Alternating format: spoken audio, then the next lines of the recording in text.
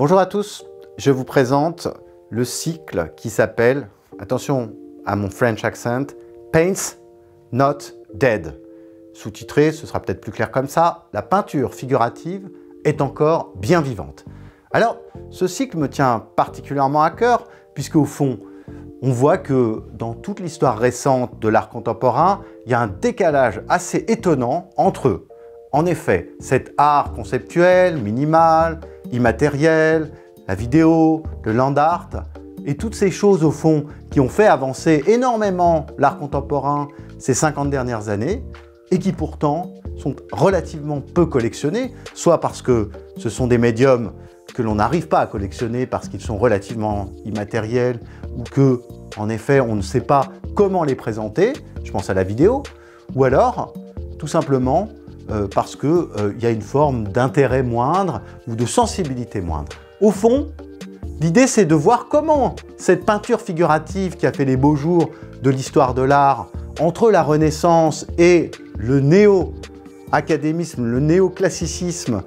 du milieu du 19e siècle, n'a cessé en réalité, bien que l'abstraction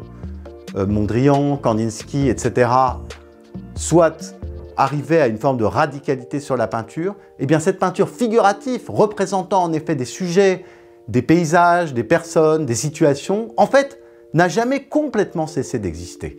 Et on le voit bien entendu avec ces grands artistes que sont Picasso, hein, on parlera forcément de Picasso qui est finalement dans l'art contemporain, puisqu'il décède en 1973, et que, au fond, ces dernières peintures qui étaient assez peu reconnues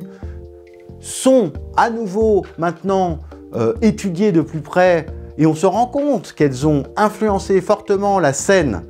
euh, plus contemporaine de la peinture, et puis bien sûr des artistes très importants également, des innovateurs, des gens qui ont cherché justement entre la vidéo, la photo, une nouvelle perspective, des gens comme David Hockney par exemple,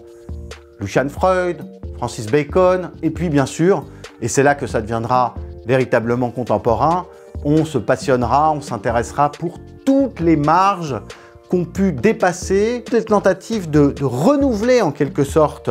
le médium peinture, qui en réalité a beau avoir été au cœur d'un débat, d'une polémique et parfois d'une nécessité par beaucoup d'artistes d'être entre guillemets mise à mort, la mise à mort de la peinture, eh bien c'est toujours relevé, a toujours eu des propositions extrêmement intéressantes. On verra ça dans de nombreux artistes euh, des années 70, 80, 90, l'hyperréalisme, l'école de Leipzig.